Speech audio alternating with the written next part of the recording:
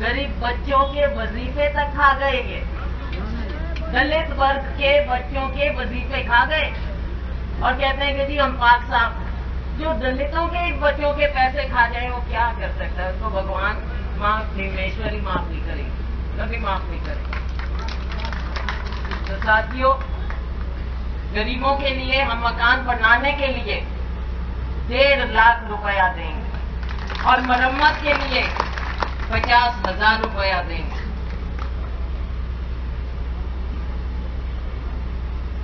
चौपालों के लिए हम पैसा देंगे, सारा बैकलॉग हम भरेंगे। और जो गरीब बच्चे हैं, दलित वर्ग के हैं, उनको एक से दसवीं तक, एक से दसवीं तक सालाना बारह हज़ार रुपया देंगे, हर हर महीना एक हज़ार रुपया। और दसवीं के बाद बारहवीं तक हम उनको पंद्रह हज़ार रुपया देंगे, जो एकदम गरीब हमारा पिछड़ा वर्ग है और दलित वर्ग है उनके लिए। और बहुत सी बातें और साथियों, युवाओं के लिए। हर परिवार में, हर परिवार में योग्यता के अनुसार, ये नहीं है, ये नहीं है कि भाई ग्रुप डी में भर्ती है अपने पीएचडी ऐसे नहीं होगा। योग्यता के अनुसार हर परिवार में हम कम से कम एक नौजवान को उसकी योग्यता के अनुसार ज़रूर नौकरी देंगे, ये हमारा फ़ायदा है।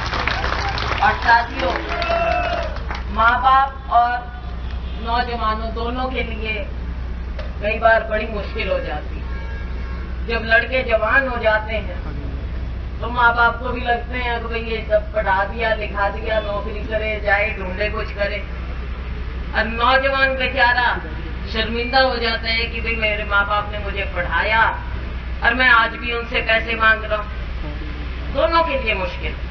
तो साथियों, जब तक नौकरी नहीं मिलेगी हमारे युवाओं को, तब तक जो ग्रेजुएट हैं, उनको हम हर महीना सात हज़ार रुपया भत्ता देंगे।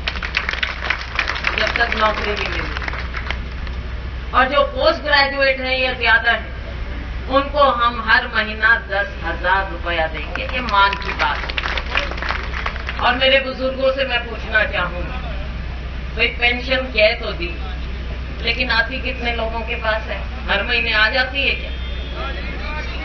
अब इन्होंने कहा था, पाँच साल पहले कि हम दुगनी, हम आपकी दो हज़ार करेंगे। पाँच साल लगाए इन्होंने दो हज़ार लाने में और वो भी साथ में नहीं मिलती। तो साथियों, हमारा वायदा है। हमारा बुज़ुर्गों से वायदा है। बुज़ुर्गों से वायदा है कि हम आपको हर महीना हर महीना इक्यावन सौ रुपया देंगे पेंशन और मेरी बहनें मेरी बहनें अब इतनी मेहनत करती हैं, काम करती हैं, बहुत ज़्यादा। दिक्कत में होती है तो बहनों को तो हम पचपन साल से ही पेंशन शुरू करेंगे साथियों बिजली की बात होती है। कितने बड़े बड़े बिल आ जाते हैं? बार मीटर ला दिया। बार मीटर लगा दिए। तो साथियों 300 यूनिट तक 300 यूनिट तक जो घरेलू बिजली है हम फ्री करेंगे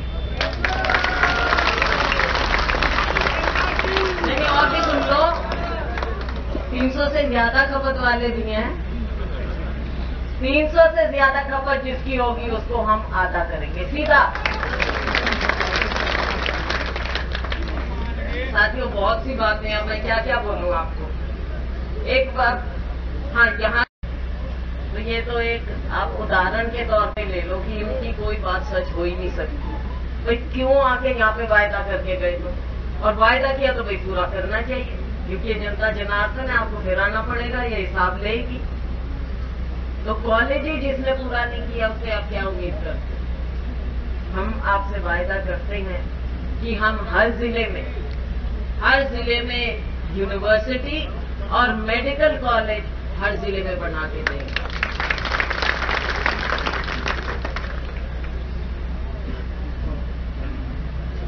साथियों जानना है सिर्फ़ आखिर में।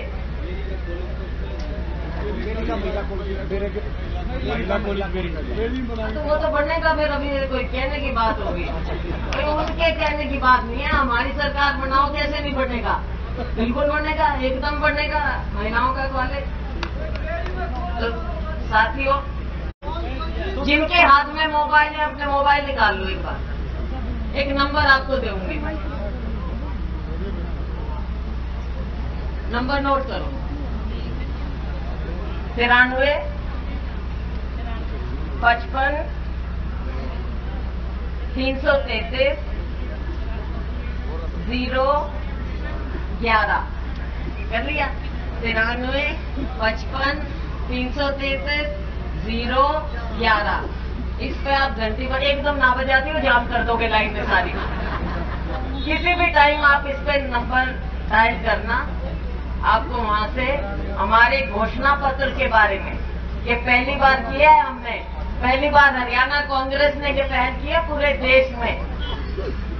आप घंटी बजाओ क्योंकि सब जगह ये हम पहुंचाएँ, आप अखबार में पढ़ो, आपको पता लगे ना लगे, हर एक को पता होना चाहिए जिसके हाथ में मोबाइल है कि कांग्रेस पार्टी आपसे क्या वायदा कर रही है।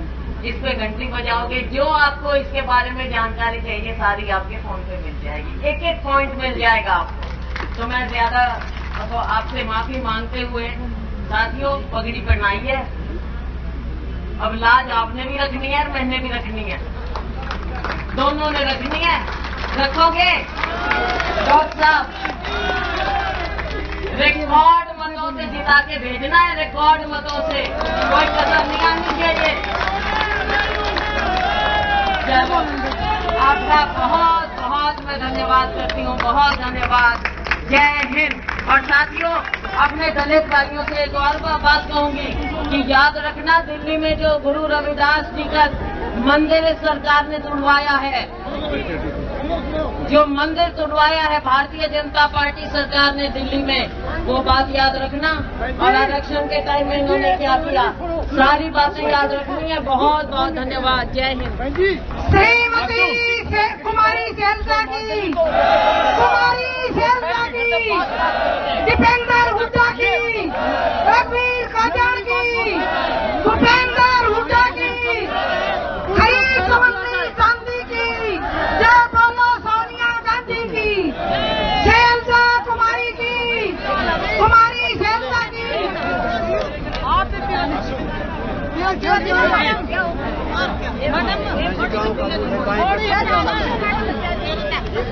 ম্যাডাম